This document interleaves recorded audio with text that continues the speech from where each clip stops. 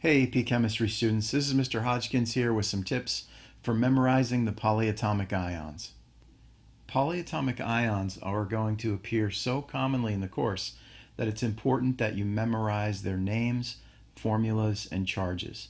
You'll be tested on these within the first couple days of the school year. If you're not there already, please look in your, your summer assignment notes uh, and find the page we're looking at now. There's a number of ways to approach this task, but I'd like to show you one that organizes the list of polyatomic ions you see on the previous page uh, into a number of different categories that will hopefully uh, help you to make sense of them and therefore make the memorization process easier. The first five polyatomic ions we're going to memorize uh, we'll call the Big Five. I recommend that you make a flashcard for each of these. These are going to be the foundation upon which all the rest are built. These five uh, polyatomic ions are five of the most common that we'll use this year. You'll notice that they all end in ate carbonate, chlorate, nitrate, sulfate, phosphate. Unfortunately, these polyatomic ions all end with a different number of oxygens. It would be nice, for example, if all the, uh, the chlorates, carbonates, nitrates, if they all ended in three oxygens or four oxygens, but there is a mix. So you are going to have to memorize which ones end in three oxygens, which one end in four, as well as what their individual charges are. A tip for doing this is called Slivka's square if you if we look on the periodic table, you see this square here, this imaginary square uh, represented by silicon, sulfur, tellurium, and tin on the corners.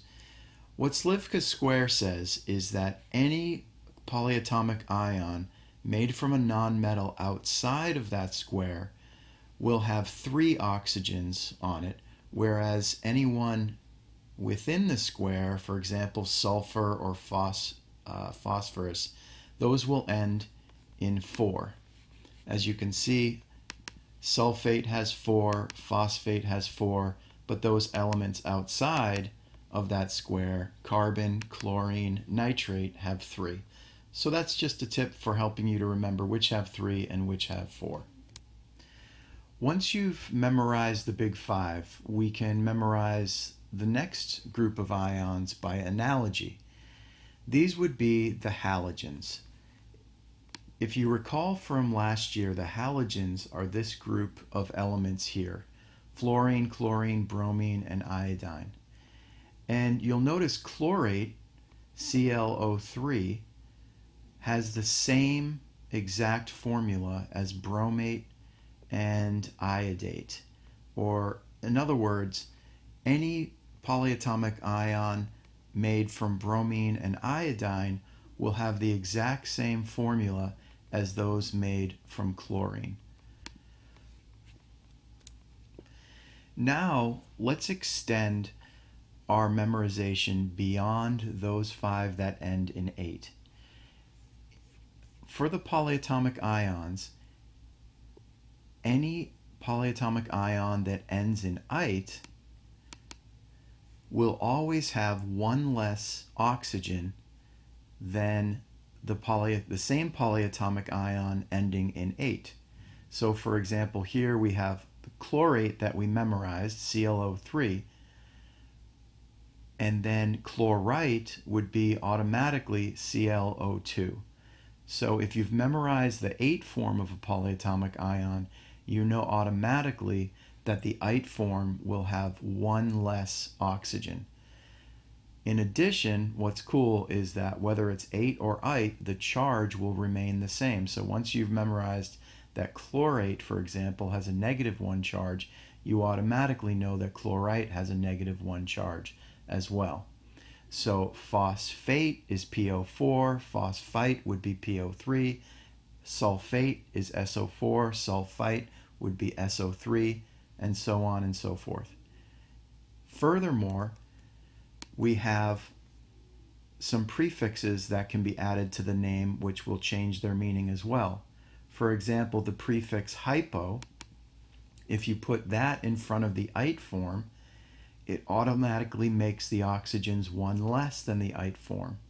And if you put per in front of the ate form, for example, instead of chlorate, you put perchlorate, it means that there's one extra oxygen than the ate form. Um, a way to help remember this might be to remember that a hypodermic needle, hypo is that prefix that we use to mean one less.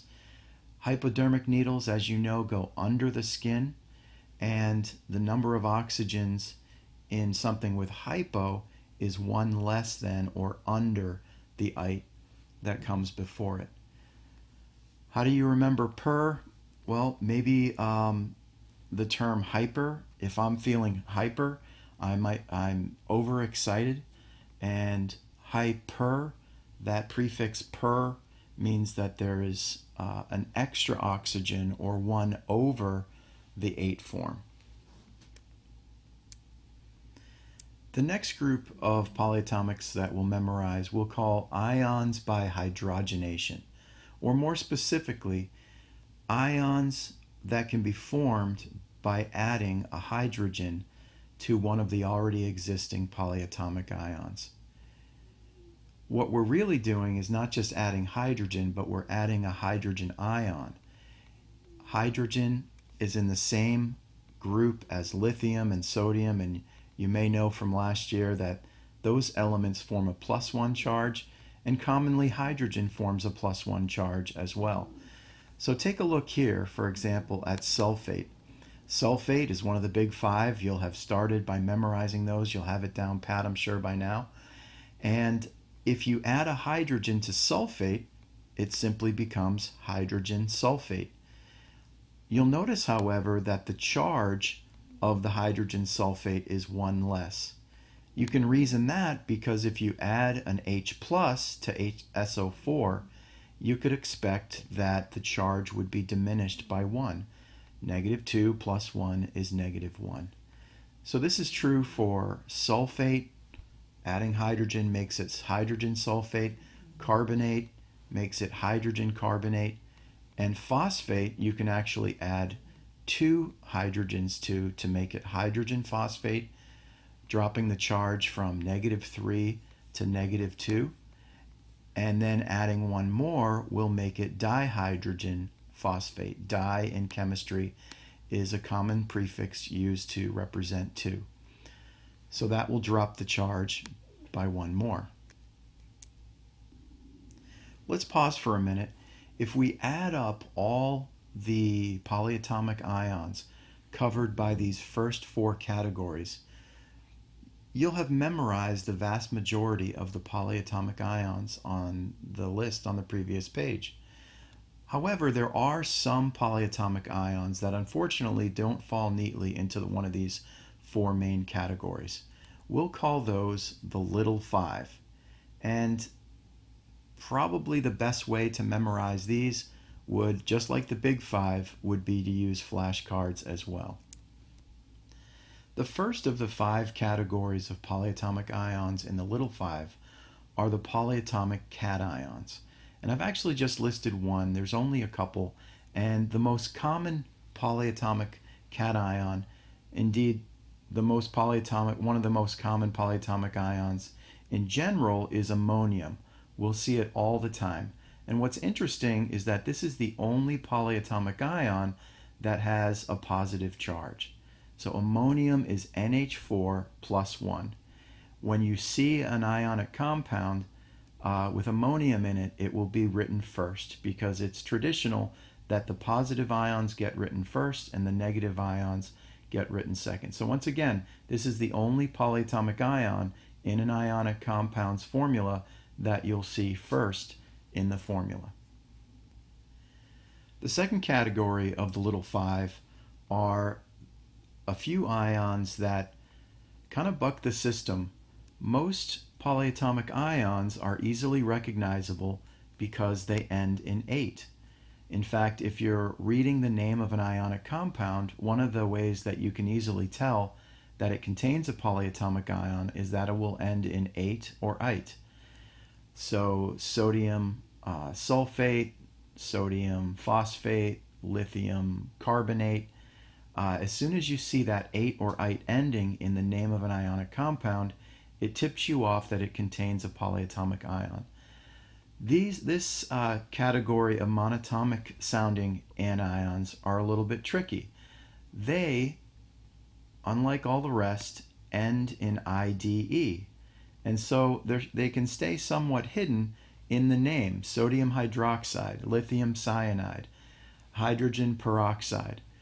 It can be a little bit difficult to tell that in fact that formula contains a polyatomic ion. Once again, an important reason why we need to memorize them. So here they are. OH is hydroxide. When something contains OH, it's commonly a base or an alcohol. So this is an extremely important polyatomic ion. We're going to see it all the time this year. OH is uh, oxygen and hydrogen together in an ion, and it has a negative one charge. Cyanide, you can see here, is CN, has a negative one charge again, and peroxide is when oxygen pairs up uh, and forms a polyatomic ion with a negative two charge. The third category of ions in the little five are pretty cool. These ions have a very characteristic and distinct color. Although you haven't seen them perhaps yet, in in this year uh, during lab during AP chemistry, we'll come across and use these polyatomic ions all the time. The first is permanganate. It has mang, uh, ma- mangan- ma- excuse me manganese uh, combined with oxygen, four of them. Uh, chromium is combined with four oxygens to make chromate, and dichromate contains two chromiums combined with seven oxygens. Permanganate has uh, a beautiful, distinct, dark purple color. Chromate has a bright yellow color, and dichromate has an orange color. These uh, are really the only colored ions on the entire list. All the other ions are colorless and clear. Category number four of the little five are those polyatomic ions that are organic. Now, in chemistry, when we say organic, we don't mean uh, made without pesticides or the common use of organic in society. Organic in chemistry means it's a substance that contains carbon. And these polyatomic, common polyatomic ions, acetate and oxalate, both contain carbon. Uh, we have acetate C2H3O2 and oxalate C2O4. Finally, we have uh, the last category of the little five.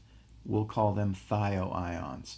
Uh, these two polyatomic ions aren't terribly common, uh, but they both end in, uh, they both start rather with thio, which is an indication that they contain sulfur. So if you know cyanate, which is CN, uh, you also now know can know thiocyanate, which is SCN. Thiosulfate is uh, S2O3. So that concludes uh, this video describing one strategy for memorizing the polyatomic ions. It's one that I use to memorize them. And again, it's not the only way to do it. You could, for example, simply make flashcards for the entire list and just bang it out. It would take you a little while, but um, you could do it that way. There's, I'm sure, other methods on the internet that you can find, but this one made sense to me. Maybe it'll make sense to you. And what's also valuable too, using a strategy like this, is once you um, memorize it, you know, in a month or two months or three months, your your memory is going to weaken, and having this scaffolding upon which to memorize these can oftentimes help you to bring uh, the names and formulas and charges of these back into your head. So I hope this has been helpful, and we'll see you soon.